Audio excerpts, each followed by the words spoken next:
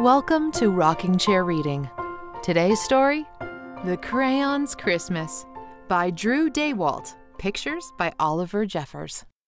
One snowy December day, Duncan was making Christmas cards with his crayons when the mail carrier brought a letter, only it wasn't for him. To Peach Crayon, Apartment 4, Crayon Box, Duncan's room on the bookshelf next to the weird pen holder. Duncan and his crayons spent the next day playing in the snow. Yay, clothes! I don't care at all what you think. I think the snowman's nose should be a banana. Feeling snowed out, but suddenly very Christmassy, the crayons headed inside to warm up and get out of the decorations. You know, I'm candy, right, Duncan? And you know, you're supposed to eat candy, right? Because last time I checked, people didn't hang candy on the tree. Ten years in a row. I'm older than you are, kiddo.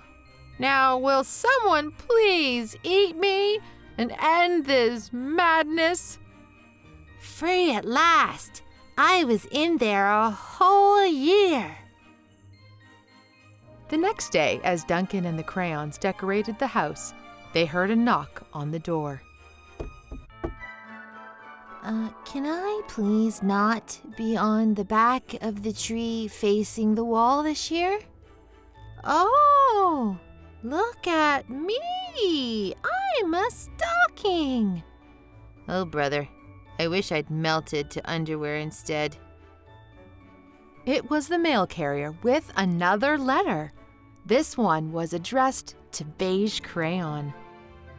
Beige Senior Crayonton, Pennsylvania.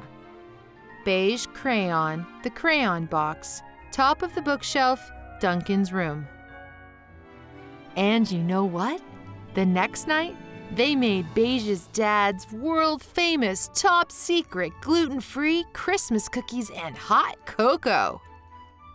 Just as they set out the cookies and cocoa, another letter came in the mail. This one was from Gray Crayon, who was away visiting his family. Ah, feel that stress just melt away. Gray Crayon, Graysland, Tennessee. Duncan's crayons, the crayon fort, wherever Duncan left it. After such a great present from Gray, the crayons remembered they had some presents of their own to wrap. Oh man, you win again. I don't know how you do it. Ah, a work of art, a triumph, a masterpiece, my greatest work yet. With the presents all wrapped, it was time to go caroling.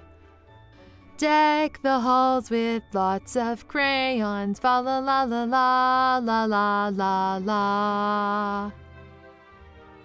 Just as the crayons came home from caroling, the mail carrier delivered a big package for Chunky Toddler Crayon.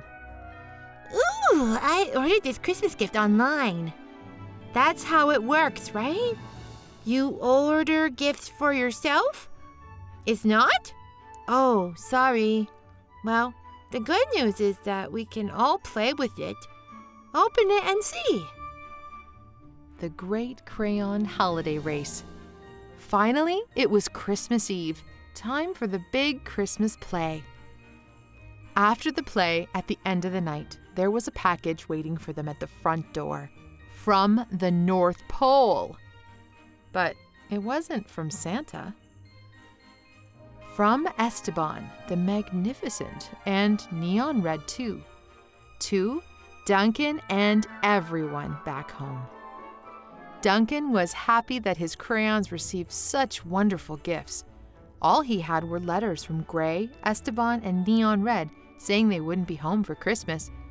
That made him sad, and no one in the world noticed or cared.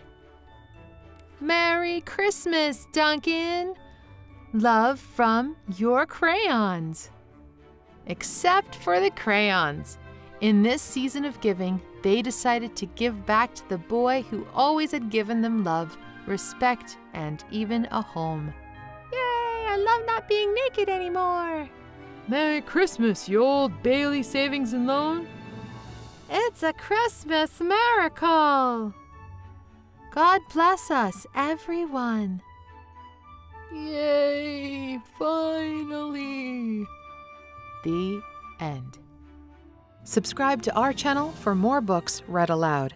If there's a favorite book you'd like us to read, please mention it in the comments below. Or if you'd like us to narrate your book, please visit us at meissnersound.com.